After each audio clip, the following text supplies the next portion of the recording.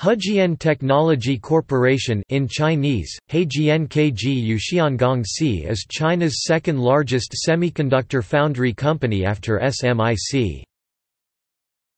It was founded in November 2001 and is located in Suzhou Industrial Park.